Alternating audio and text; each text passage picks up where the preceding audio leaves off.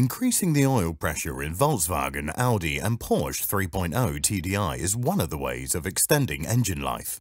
The 3.0 TDI engines appeared in vehicles of the Volkswagen Group back in 2004 and, until recently, they were considered the most reliable engines of these German brands. Well, until recently, until 2014 to be specific when the EA897 Evo engine was built to meet the requirements of the Euro 6 standard. The engineers from Wolfsburg decided to reduce oil pressure at low engine speeds to lower the energy required to generate the pressure.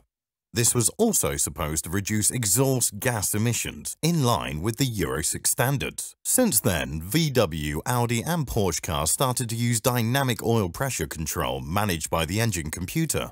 It works like this. The computer controlling the engine receives data from the oil pressure sensor and then controls the solenoid valve to achieve the set point saved within the program, commonly referred to as a map, which defines the oil pressure depending on its temperature and engine speed. There is no need here to explain why insufficient oil pressure accelerates the wear of the lubricated parts in the engine. This is one of the reasons why the 3.0 TDI engines in vehicles made after 2014 are no longer as durable as their predecessors. We have vehicles in our workshop with an engine seizure after barely 100,000 kilometers. The repairs for such a seized engine can cost 7,000 euros or more, depending on the severity of the seizure. A new 3.0 TDI engine without accessories costs 19,000 euro. If you have a Volkswagen, Audi or Porsche with a 3.0 TDI engine made after 2013, check your engine pressure and save your engine from a major failure. Let's take a look at the pressure we are talking about. Our patient, an Audi A6 C7 from 2015 with a 3.0 TDI CRT engine. For this model, assuming that nothing has been updated, the oil pressure will certainly be too low. We can check this, which could be done using any diagnostic equipment. Set the parameters we need to check. Engine RPM, oil temperature and actual oil pressure. This is what you see. Speed, 0. We have yet to start the engine and the oil pressure is already 950 HPA. Why? Because the sensor is measuring atmospheric pressure. This means that the pressure that is displayed after the engine is started will be higher than the actual pressure by the value you see here. Next, we can start the engine. The pressure is now 2000 HPA. When you deduct the value we measured earlier, you can see that the oil pressure in the engine is actually approximately 1000 HPA, or about 1 bar. At low engine speeds without a load, this would not be so bad, even though I think it should be slightly higher. Let's see what happens as we go on.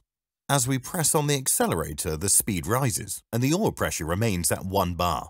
We now have 2000 RPM, and the oil pressure is still 1 bar. At 2100 RPM, the pressure has just reached 1.2 bar, and after exceeding 2300 RPM, the oil pressure starts to rise, but it's still just 1.5 bar. Only after 2500 RPM does the oil pressure increase to 3.4 bar, although at this point, the transmission has already switched to a higher gear. Such a low pressure is just terrible for our engine. Under normal conditions, if we are not particularly hard on the gas pedal, then the engine will not exceed 2300 RPM for 80% of its service time. That means precisely the range where the pressure is much too low. This is why this needs to be corrected as soon as possible to prevent an engine seizure. We need to get to work on this. To increase the oil pressure, we need to reprogram the engine controller. Okay, so what is next? We read the controller memory in most cases, we can do this using the OBD diagnostic port. In some models, we have to pull out the engine controller and reprogram it on the bench. Next, we have to change the oil pressure set points in the program. This requires a bit more equipment and knowledge, and I would not have it done at any random repair shop. Come and visit us at our service center. We have been providing this service for more than five years now. We sometimes do it several times a day. Upon prior arrangement, we can do it on the spot. It usually takes about half an hour. Now we save the modified program in the engine controller. OK, it is now saved in the memory. We can check the oil pressure in the engine after the program has been modified. Remember, we have to deduct atmospheric pressure from the indicated pressure. At low engine speeds, the pressure is about 1.8 bar as compared to the 1 bar before the change. When you accelerate, the pressure rises to 2.4 bar at 1700 RPM instead of 1 bar. At 2100 RPM, the pressure reaches 2.8 bar, where it used to be 1.2 bar.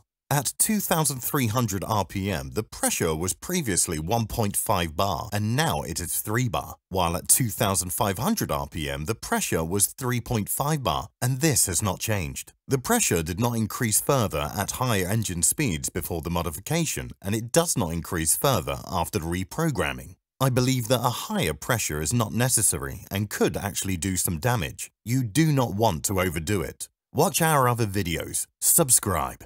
We are soon going to be posting some videos about other interesting services we offer at our service centre. Just remember to use our services.